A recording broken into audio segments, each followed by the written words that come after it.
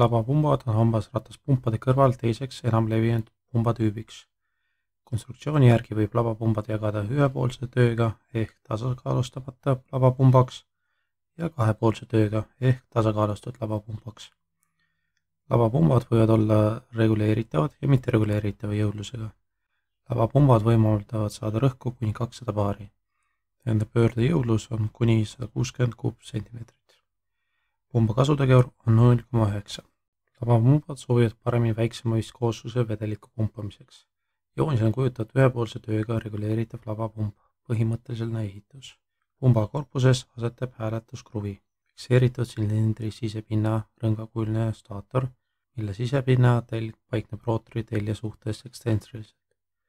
rootor kinnitab pumba veovõlile ja selle pöörlemisel rootoris on töödeldud tema raadiuse suhtes rootori pöörlemissuunas. piludes paiknevad lehterases valmistuslabad. rootor on telje suunas tihendatud sarnaselt hammasrataspumbaga tihendusketastega, mille ühe sisse on töödeldud vedeliku sisse ja väljavoolu jaoks kaarekuulised kanalid. see tihendusketas täidab jagaja ülesannet ja temas olevat kanalites on üks ühendatud pumba sisendavaga ja teine pumba väljundavaga lavad saavad rootori piludes radiaalsuunas vabalt liikuda. rootori pöörlemisel surutakse lavad kesktõrjejõu toimel vastu staatori tööpinda. rootori telje ja staatori telje ekstensile jõu tõttu hakkavad lavad rootori pöörlemisel piludes edasi-tagasi liikuma. selle tulemusel muutub kahe lava, staatori ja rootori pinna vahele jääva tööruumi vaht. labad saavad rootori piludes radiaalsuunas vabalt liikuda rootori pöörlemisel surutakse labad kesktõrjejõu toimel vastu staatori tööpinda.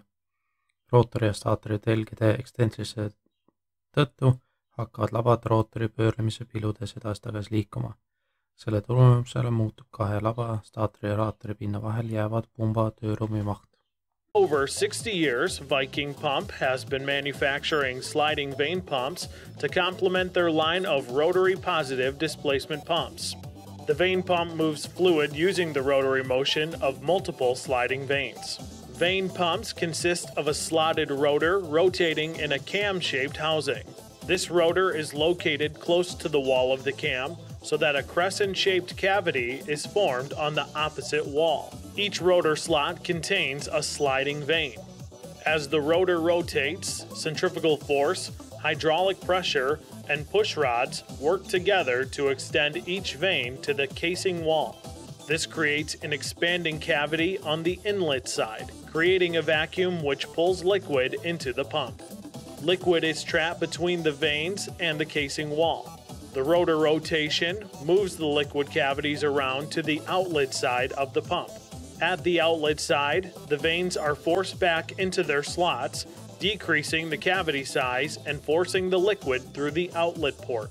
Because the vanes run in contact with the casing wall, vane pumps are commonly used in thin liquid applications. kui staatori ja rootori vahekaugus suureneb, liiguvad labad väljaspoole.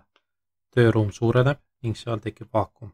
samal ajal liigub tööruum kohakuti tihendusketas jagajas oleva kanaliga, mis on ühendatud paagiga ja tööruum täitub vedelikuga edasisel rootori pöörlemisel hakkab kaugus rootori ja staatori vahel vähenema ja labad surutakse pesadest tagasi.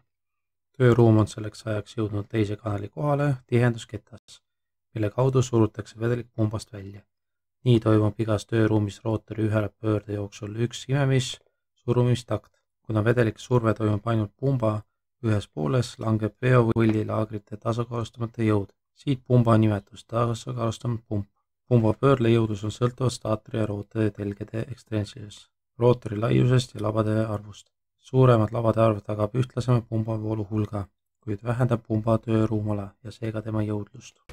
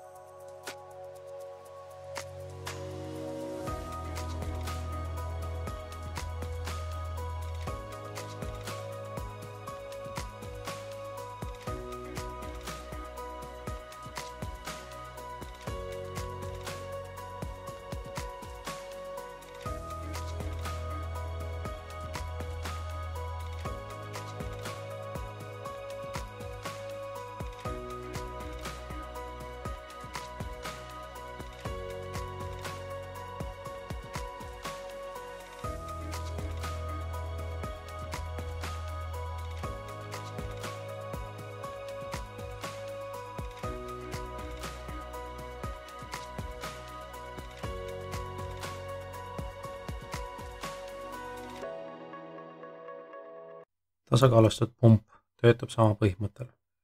pumbal on rõngas staatori tööpind ovaalse kujuga ja rootori telg paikneb staatori teljel.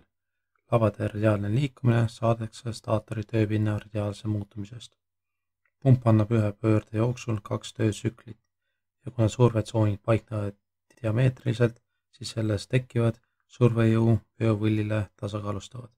siit nimetus ka tasakaalustatud pump lavapumpade eelisteks on ka väike metalli mahukus, nende mass ja jõudluse vahe, kõrge kasutegur, ühtlane voolu hulk, suhteliselt lihtne ja odav ehitus, madal müratase ja vähene tundlikkus gravitatsiooni tekkimise suhtes.